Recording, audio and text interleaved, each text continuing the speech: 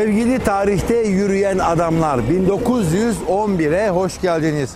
Takvimler 2020'yi göstermiyor. Takvimler 1911'i gösteriyor. Şu an görmüş olduğunuz ve bize ilham olan fotoğraf programımızın başlangıç fotoğrafı olsun.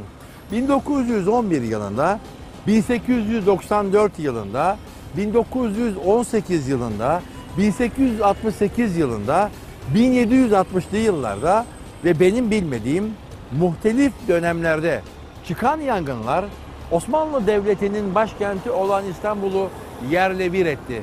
Yangınlar ve depremler bu şehrin makus talihidir ve her 50 yılda bir, her 100 yılda bir bu şehrin yeniden dizaynı oluşumudur.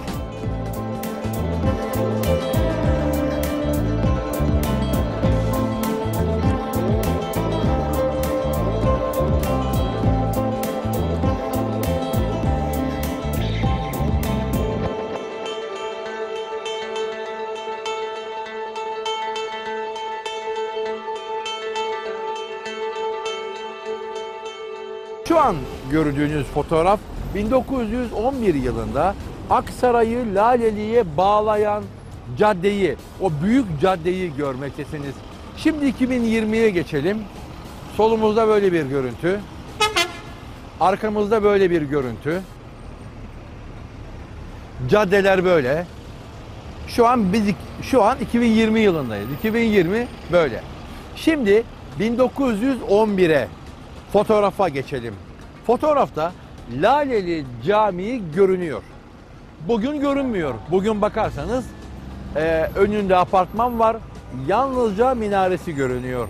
Muhtemelen 1911 yılının başlarında da aynı açıdan buradan durduğumuzda Laleli Camii görünmüyordu. Önünde binalar vardı. 1911 yangınından sonra ortalık iyice açılmış ve hanımefendiler, baba anneler, teyzeler, halalar buradan Laleli'ye doğru yürümekteler. Kayıtlı 2400 tane ev yanmış İstanbul, Aksaray, Laleli, Beyazıt, Çemberlitaş, Sultanahmet bölgesindeki bu büyük yangın her tarafı evirmiş çevirmiş.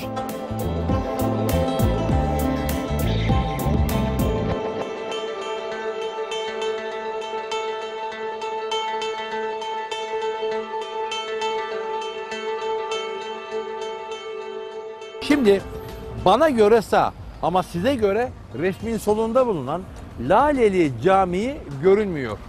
Fotoğrafta görünüyor. Fotoğrafta görünüp bugün olmayan bir tane daha yapı göstereyim mi?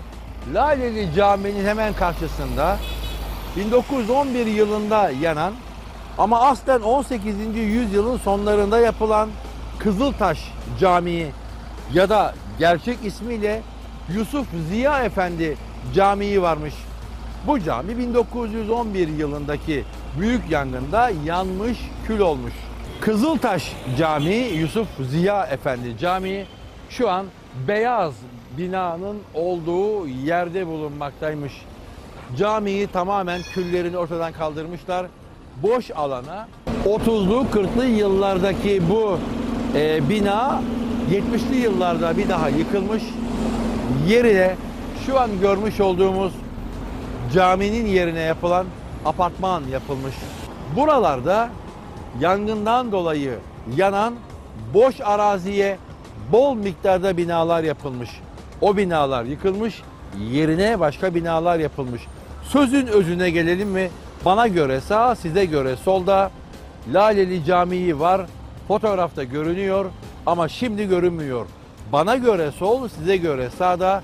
Fotoğrafa iyi bakalım dostlar. Yusuf Ziya diye isminde bir Kızıltaş Camii varmış. Bugün o caminin yerinde bina var. O gün cami varmış. Ne diyelim? Her şey değişmiş.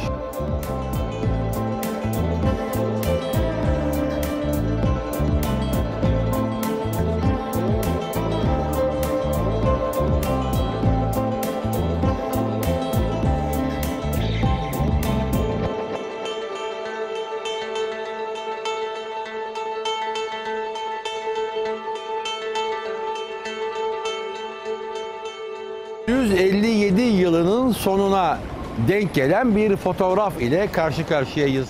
1952-1957 yılları arasında Ayasofya Camii'nin önünden kalkan ve adına Via Egnatia denilen o büyük caddenin Mese Caddesi'nin devam ettiği yol küçücük bir yoldu. Burada iki şerit gidiş, iki şerit geliş, iki de tramvay yolu olmak üzere, iki de kaldırım olmak üzere 10 şeritlik bir yol yapılması için bir sokağın sağında ve solunda bulunan bütün apartmanlar, bütün medreseler, bütün camiler, hanlar, hamamlar, külliyeler, darü ziyafeler, imarethaneler, bimarhaneler, şifahaneler, kervansaraylar kaldırıldı. Hatta o günlerde medyanın merkezinde bulunan bir gazete patrona Halil ayaklanmasını tarihi bir özelliği yok, yıkılabilir diye uzmanların rapor verdiğine dair bir haber bile yapmış. O günlerde yıkıntılardan ve harabelerden sonra 1957 yılında görmüş olduğunuz bu fotoğrafın çekildiğinde ne görüyoruz sevgili dostlar? 3. Selim Türbesi'nin altında yolu düzlemek için. Şimdi bu yol Ayasofya'dan Topkapı'ya kadar giden bu yol engebeli bir biçimde tümsekli, çukurlu bir yoldur. Bu yolu düzlemek için bazen aşağılara çıktılar, bazen yukarılara çıktılar. Ragıp Paşa Kütüphanesi 2 metre yerin altında kaldı. Laleli Camii'nin olduğu yer cami yukarıda kalınca camiyi aşağıya indirmek için caddeyi aşağıya indirdiler. Bu sefer Laleli Camii'nin ve yanında bulunan 3. Selim Türbesi'nin temel taşlarına kadar kazdılar.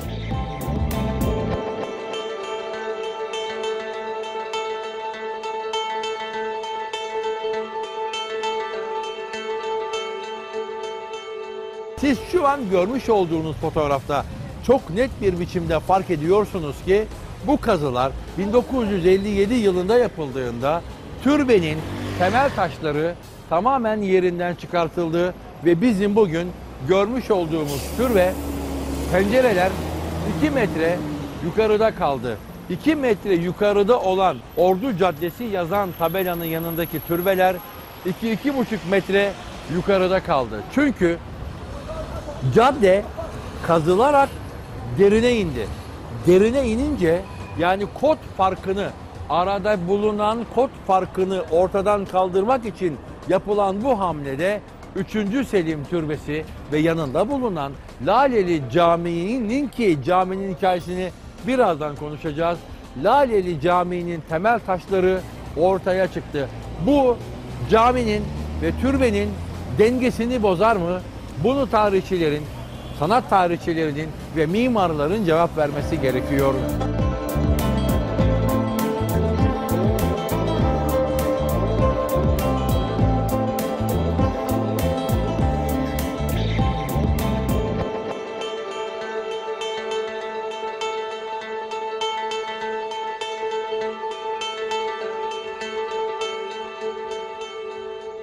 Takvimler 2020.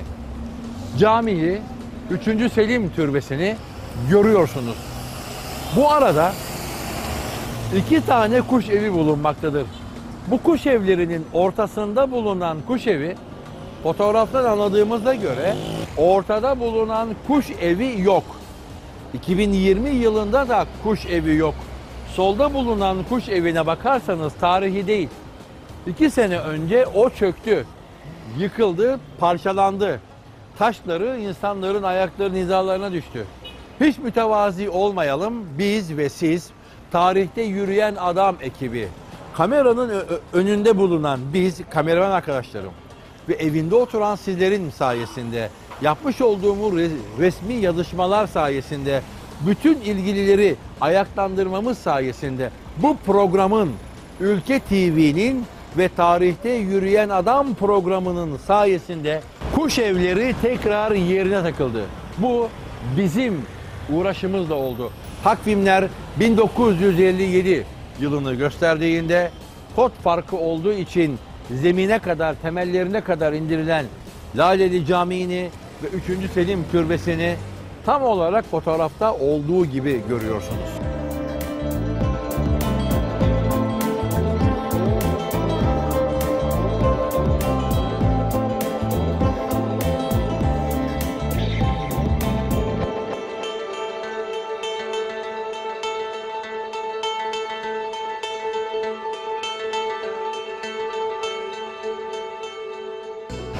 1903 yılına ait bir fotoğrafla karşı karşıyayız. Bize ilham olan fotoğraf 1903 yılı ve henüz buralarda herhangi bir şehirleşme yapısı olsun diye yıkımlar ve yol açım çalışmaları başlamamış. Var olan şey Fatih medreselerinde talebelik yapan son sınıf öğrencilerinden Ragıp Efendi'nin fotoğrafı diye bize lanse edilen bu fotoğrafta gördüğümüz tek şey şu an bakın sebilin altında, saksıların altında bir temel taşı var. Kazılmış. Az evvelki fotoğrafta söylediğim gibi kod farkı ortadan kaldırılsın diye düzleştirilmiş.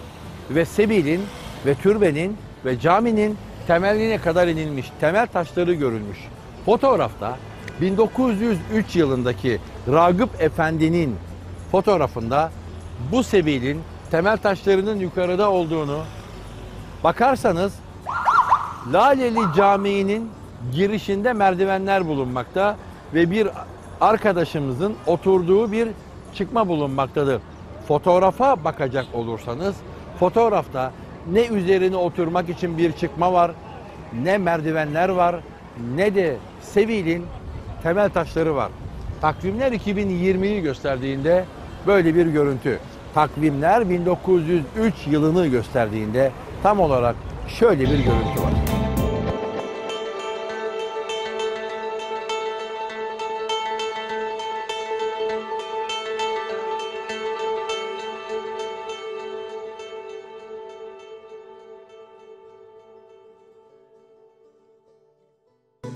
Şu an o fotoğraflar boyunca anlattığım 1957 yılındaki kod farkı düzenlemesi ve inişli yokuşlu olan caddenin düzeltilmesi için bazı yerlere toprak eklenerek Ragıp Paşa Kütüphanesi gibi bina bodruma çekilmiş, bazı yerlerde ise yukarıda olduğu için kazılarak binanın temel taşları ortaya çıkartılmış.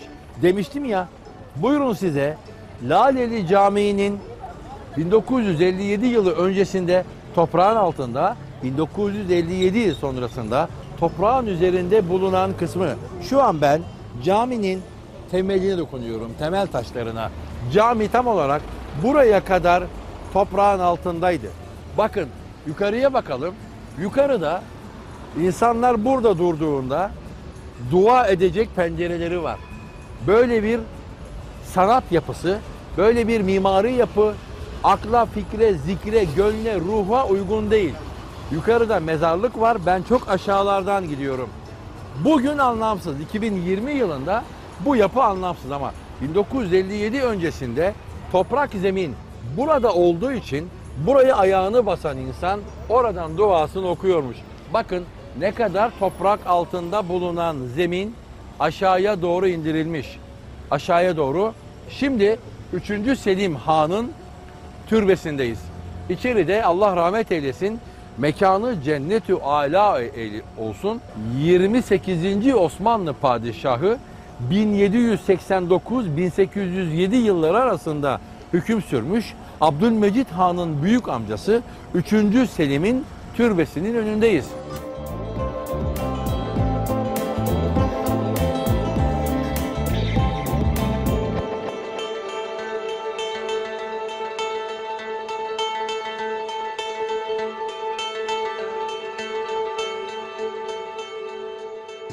Buradan ben türbeyi görüp dua edemiyorum. Edemeyiz tabi.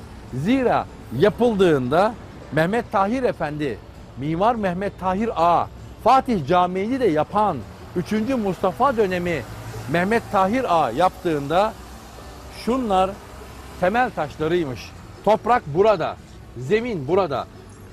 Ayağını buraya basan değil, ayağını buraya basan biri içerideki sandukaları rahat görmekte ve içeriye doğru dua etmektedir. Kod farkından dolayı temel taşı aşağıya indirilmiş ve yokuş düzeltilmiş. Bakın buralara gittikçe azalıyor. Burada bu kadar bir kod farkı var. Pencerenin uyumsuzluğuna bakın. İçerisi maalesef görünmüyor. Dedik ya inişler çıkışlar bulunmakta. Bak şimdi kod farkı biraz daha yukarıya çıktı. Buradan pencereden bakacak olursak pencereden insanların e, içeride bulunan kabir taşlarını görmeleri çok zor. Buraya bastıklarında ise çok kolay bulunmakta. Şunlar bu göstermiş olduklarım 1903 yılında az evvel gösterdiğim fotoğrafa dönecek olursak o fotoğrafta Tahir A isminde medresenin son sınıfında okuduğu fotoğrafın ar- arkasında kayıtlı olan Tahir A burada duruyor ve buradan ileriye doğru gidiyor. Buradan ileriye doğru gidiyor. O fotoğrafa baktığımızda o fotoğrafı şu an görüyorsunuz ya. Şimdi 2020'ye döndüğümüzde o fotoğrafta şuraların toprağın altında olduğunu göreceğiz. Bunlar toprağın temel taşlarıdır ve merdiven de yoktur. Doğrudan doğruya 1903 yılında zemin burada ben şu an 1903 zeminindeyim. Siz şu an 2020 zemindesiniz. Buradan direkt camiye giriş yapılabiliyormuş. Normalde sizler şu an toprağın altındasınız. Ben ise 1800, 1700, 1600 yani 1957 öncesinde bulunan Laleli semtinin toprağının altındayım.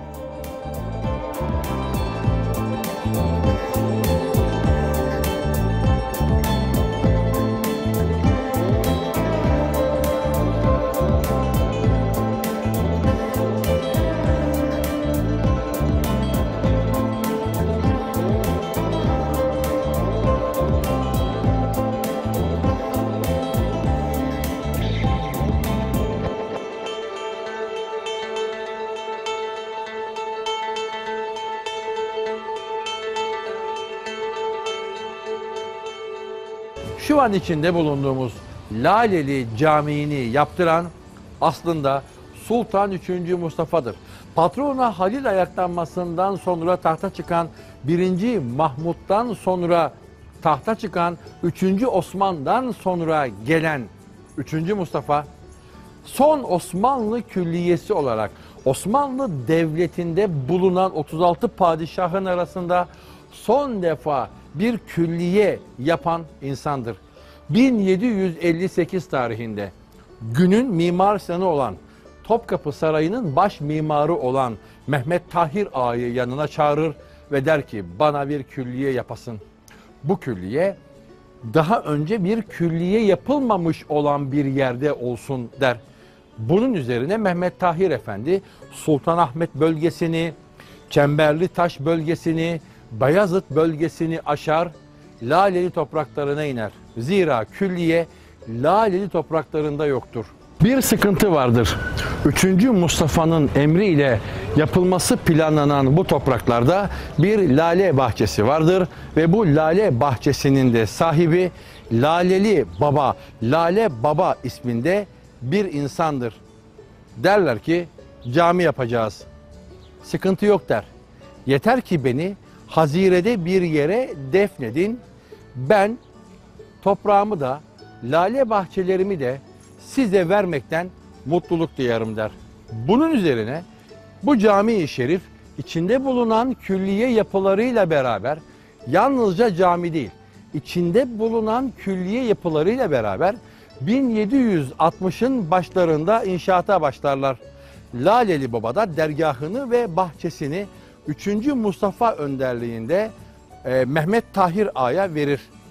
Cami 1762 tarihinde biter. Mehmet Tahir Ağa Fatih Camii'nin de aynı zamanda mimarıdır. Ne demek o? Fatih Camii Fatih Sultan Mehmet zamanında yapılmadı mı? Tabii ki yapıldı. Ama depremde o meşhur büyük 1765 depreminde yıkıldığı için e, bir daha temellerine kadar indirilerek bir daha yapıldı. Bu camiyi yapan Allah onlara rahmet eylesin. Bu camiyi yapan Mehmet Tahir Ağa Fatih Camii'ni de bu camiden 3 yıl sonra yapmıştır. Bu caminin tam bahçesine Laleli Baba'nın türbesi yapılır. Bu türbe güzel bir yerdedir ve adı Laleli Baba Türbesidir.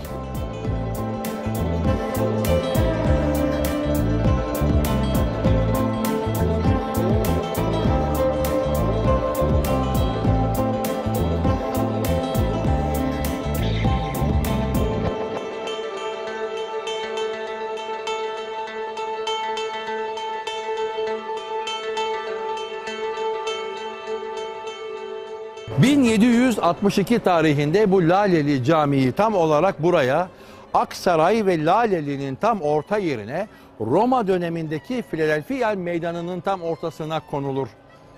Ama bir problem vardır.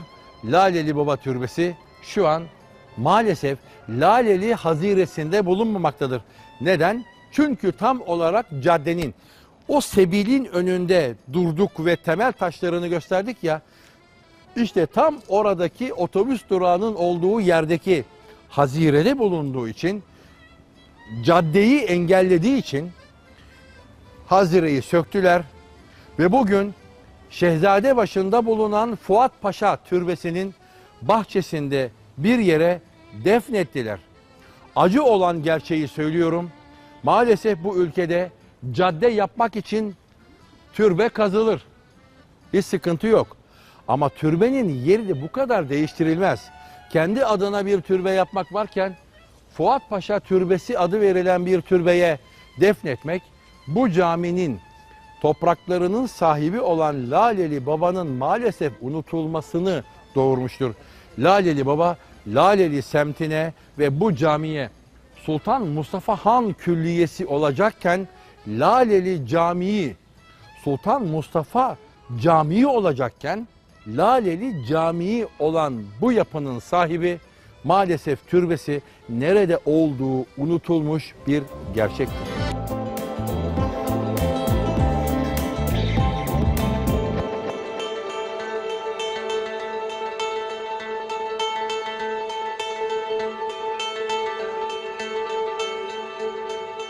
...1897 yılına ait bir fotoğrafla karşı karşıyayız. Bu fotoğrafta 3. Mustafa ya da 3. Selim türbesi diye bilinen türbenin ve Laleli Camii'nin sebilini görmekteyiz. Sebiller, çeşmeler Osmanlı medeniyetinde insanlığımızı hatırlatan kavramlardır. Güzeldir, olması gerekir. Fakat bugün sebil olarak kullanılmıyor. Bugün insanlara ücretsiz olarak su dağıtılmıyor. Bugün zeytinyağı satılıyor. Yani bir dükkan. Osmanlı başkenti İstanbul'da bugünlerde sebiller büfedir, bayidir, çay bahçesidir, zeytinyağı satan e, depolardır, kitap gibi ürünleri satan dükkanlardır ama hiçbiri sebil değil. Biz bundan şikayetçi miyiz? Şahsen ben değilim. Osmanlı'ya ait binalar, mekanlar kullanılsın. İnsanlar buralardan giri çıkış yapsınlar da ne olursa olsun. Yeter ki hayra, hasenata. Büfe olsun, kitapçı olsun, zeytinyağı satılsın, bakkal olsun, içinde insan olsun.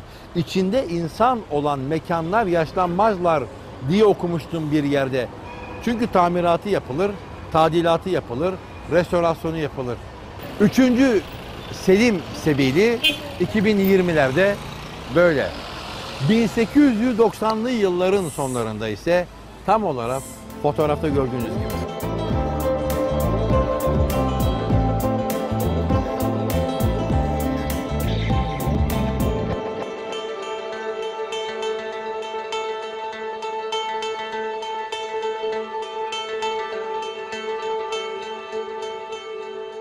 ...1901 yılına ait bir fotoğraf ile karşı karşıyayız. Laleli Camii'nin taş kapısı adı verilen Laleli Camii'nin binası bir silüet olarak arkada fon olarak görülen güzel bir fotoğraf.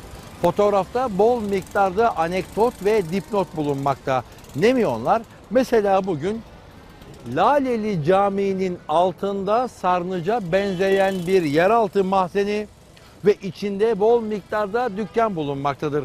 Bunlar Laleli Camii'nin ve Laleli Külliyesi'nin e, maddi anlamda sponsorluğunu yapan modern tabirde konuşalım.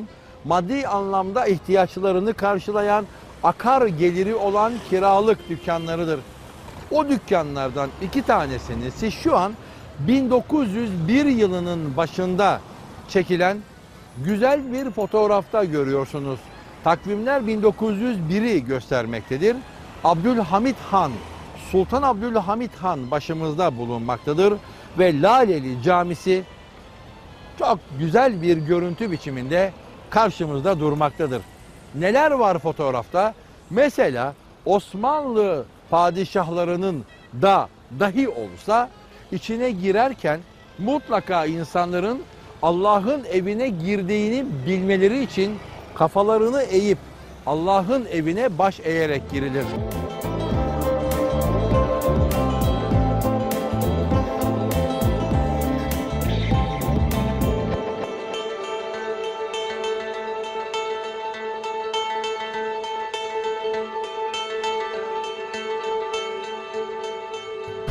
Şu an ben tam olarak o zincirin olduğu yere gideyim. Bakın burada bir zincir bulunmakta. Fotoğrafa bakıldığında bu zincir görülür. Zincirin arkasında insanlar var. Zira burası Allah'ın evi. Allah'ın evine böyle mağrur bir insan gibi baş yukarıda girilmez. Başını eğerek girmek zorundasın. O zincir insanın başını eğiyor.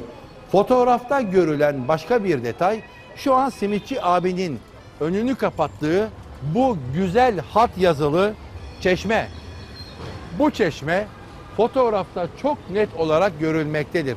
Çeşmenin de suyu muhtelif akar sulardan, kaynaklardan, Mimar Sinanlardan itibaren İstanbul'a su getirilen bölgelerden getirilmiştir. 1901 yılındaki fotoğrafta kapıda bir simitçi var. Bugün de bir simitçi abi var. Üzerinden 119 yıl geçmiş. O gün de simitçi var. Bugün de simitçi var. Bir çeşme var. Çeşmenin o gün kurnası kırılmış ama bugün kurnası var. Tam olarak şuralarda bir yerde beyaz bir at var. Aşağıya inen beyaz bir at ve onun önünde yük arabaları bulunmakta. Şu dükkanın önünde ise kapısında bir esnaf müşteri bekliyor.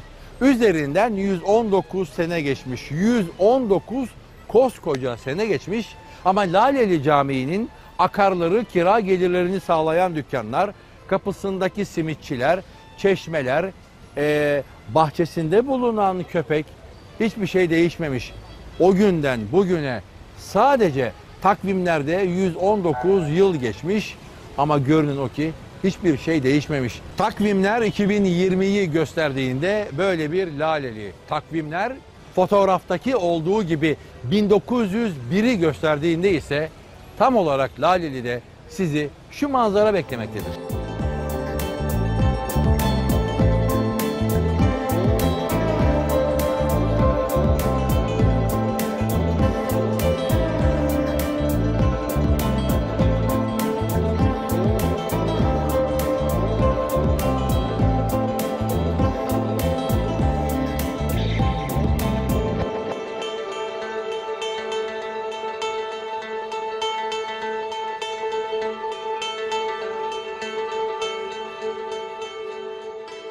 Harik zedeganlar diye bir kavram bulunmakta. Harik ateş demektir. Zedeganlar ateşten etkilenenler. Ateşten etkilenmişler grubu. Harik Zedeganlar Apartmanı Mimar Kemalettin tarafından 1918 İstanbul büyük yangınında yandıktan sonra ortaya çıkan boşlukta var olan belki de Türkiye'nin ilk toplu konut eee, binalarıdır. 1918 yılında yapımı tasarlanmış ama yangının çıkma tarihi birinci fotoğrafta gösterdiğim gibi bu bölgeyi tamamen yakan 1911 yangını. 1911 yılından evvel 1905 yılına ait bir fotoğraf. Buralarda binalar bulunmakta. Bu binalar insanların müstakil binaları. Bugün olduğu gibi kat kat binalar yok. Arkada fon olarak Laleli Camii, Laleli Camii'nin taş kapısı ve dükkanlar görülmekte. Yapı itibariyle ana yapı, fotoğrafın genel çatısı itibariyle, iskelet yapısı itibariyle bir şey değişmemiş. Harik zedeganlar, hadi gelin dokunalım. Bakın nasılmış. Laleli Camii'ni gördünüz. Laleli Camii'nin hemen arasından, yanından bir yol geçmekte. Bugün de o yol geçiyor, o gün de o yol geçiyormuş. Şu an dokunduğum bina ise Mimar Kemalettin tarafından 1911 yılında evleri yanmış bölgedeki 2400 evden bahsettik ya. 2400 evin konut sahiplerine yapılan Türkiye'nin ilk toplu konut projesidir. İşte o binanın duvarına ben şu an dokunuyorum ama fotoğrafta siz bu binayı görmüyorsunuz. Çünkü yapılış tarihi 1911-18 ama fotoğrafın tarihi 1905. O büyük yangına henüz 6 yıl bulunmakta ve siz o fotoğrafta Laleli Camii'ni, taş kapısını ve o zedegan evlerinden önceki baraka tarzı evleri görüyorsunuz. Takvimler 2020'yi gösterdiğimizde durum tam olarak böyle. Takvimler 1905 yılını, Lalelisini, Harik zedeganları, camiyi, taş kapıyı gösterdiğinde vaziyet tam olarak böyledir.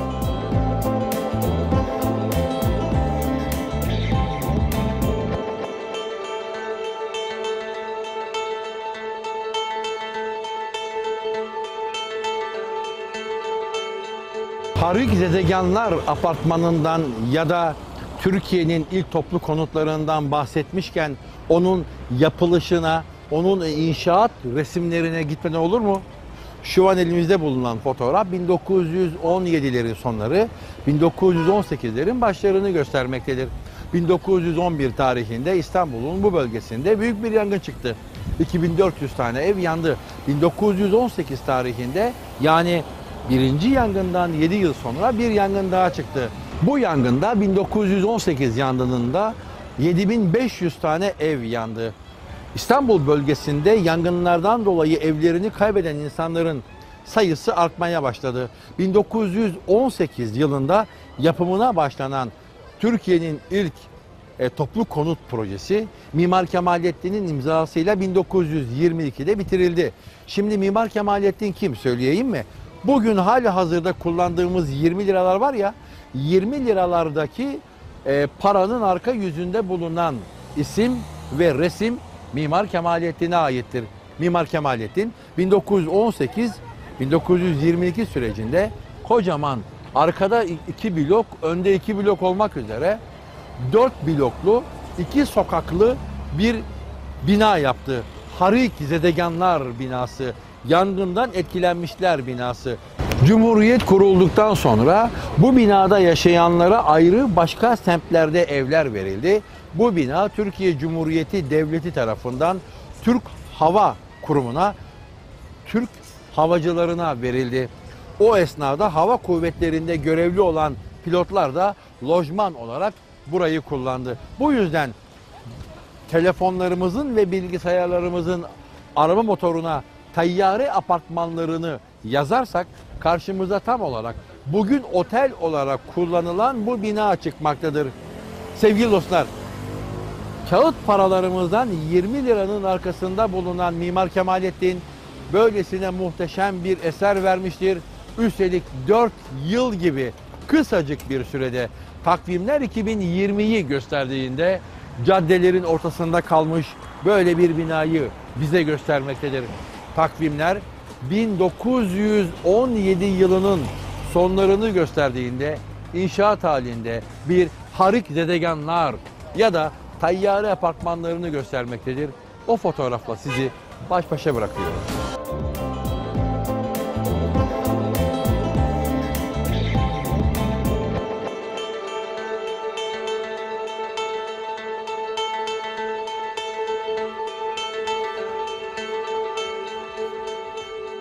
...2500 tane Aksaray Laleli... ...7500 tane Laleli Çemberlitaş bölgesinde... ...Fatih'e doğru olan yerde... ...çıkan yangınlardan sonra yıkılan evlerin ve açılan meydanın... ...tam orta yerine yapılan tramvay yolunu... ...ve hemen arkasında bulunan tayyare apartmanlarını görüyorsunuz. Mimar Kemalettin dedik. Az evvel bütün özelliklerini söyledik. Bu fotoğrafta anlatmamız gereken şey şimdi bakalım ne kadar dolu bir yer. İnsanlar, trafik, gürültü çok fazla ama 1922'lerin 1921'lerin başında Osmanlı Devleti henüz varken ve tayyare apartmanları o gün şu an fotoğrafta gördüğünüz gibi görünüyorken e, ne kadar sessiz ve ne kadar bomboş bulunmakta buralar. Sadece ortada tramvay rayları bulunuyor. Onun dışında hiçbir şey ne bir araba ne bir insan grubu görünmektedir. İstanbul 1922 yılında 1921'lerin sonlarında şu an görmüş olduğunuz gibi bomboş görünmektedir. Takvimler 2020 yılını gösterdiğinde her tarafı bina, her tarafı apartman olan Laleli'yi göstermekte. Takvimler 1922'yi gösterdiğinde ise tam olarak şu an sizin fotoğrafta gördüğünüz kadar bomboş.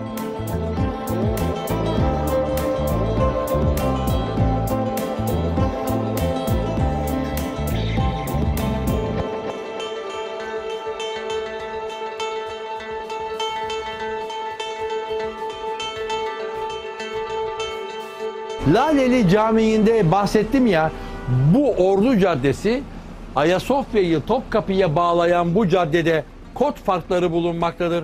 Bazı yerler tümsek, bazı yerler çukurdur. Bu yüzden düzenleme yapmak için bazı binaların temellerine kadar inilmiş, bina yukarıya çıkartılmış. Bakınız Laleli Camii, Laleli Sebili, Laleli Türbesi, 3. Selim Türbesi o yukarı çıkartılmış. Bazı yerler ise çukurda olduğu için doldurulunca tümsekte kalmış. Koca Ragıp Paşa Kütüphanesi'nin olduğu gibi. Burası 2020 zemini. İnsanlar şu an 2020'de yürüyorlar. Eğer 1957 öncesinde yürüyor olsa- olsalardı şu an benim bulunmuş olduğum zeminde yürüyeceklerdi. 1957 yılından 2020 yılına bu kadar bir yükseklik olmuş. Dolayısıyla Ragıp Paşa Kütüphanesi çökmüş, zeminde kalmış. Hadi gelin türbesini, türbesinin önünde bulunan çeşmesi ne halde onu görelim ve programımıza nihayet verelim.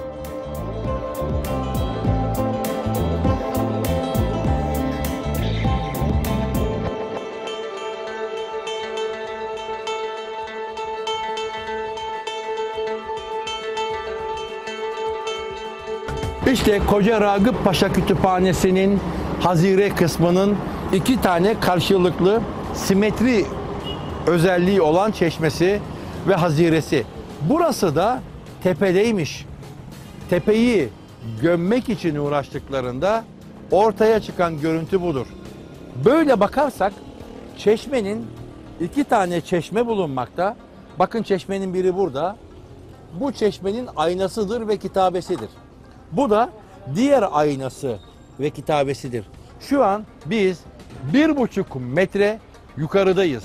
Mezarlıklar, çeşme bir buçuk metre aşağıda zeminin asfaltın altında kalmış. 1957 yılındaki bu yol düzenlemesinde son sözüm bu olsun mu?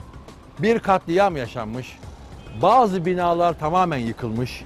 Bazı binalar aşağıya itilmiş. Bazı binalar temeli kazılarak yukarıya çıkartılmış. Baz olarak yolun düzgün olması alınmış ama yolun sağında ve solunda bulunan binalar hiç önemsenmemiş. Allah fırsat ve ruhsat verirse haftaya görüşmek üzere inşallah.